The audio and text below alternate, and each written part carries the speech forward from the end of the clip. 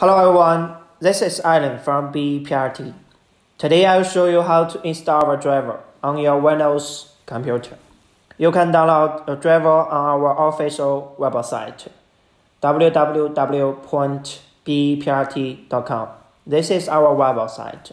If you are interested, you can also browse more of our products. You can choose downloads and drivers. Here are many drivers for different models. You can choose this one which can be used for all of our models. Now the driver is downloaded. Let's open it. Please select uh, I accept, next, next, and finish. Yes. Remember, choose model, next next, and finish. The driver is now installed. Okay, close it. The next step, I'll show you print setting and go to control panel. Go to the view devices and printers. When your B printer is connected and turned on, you should see a printer called BEEPRT. Choose printer priorities. You can printer test page first. This is preferences, and we can pick the label size.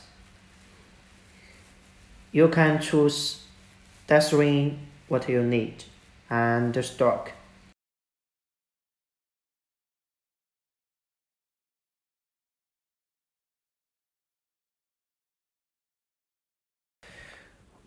We can also choose speed and uh, darkness.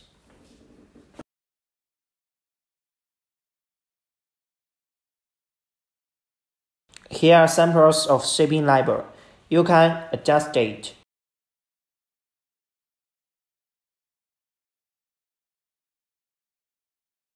Take a snapshot.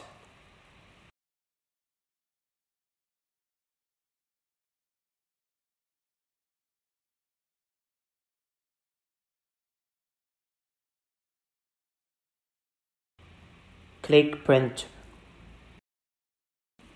you should make sure that we have a BEEPRT selected. Page setup.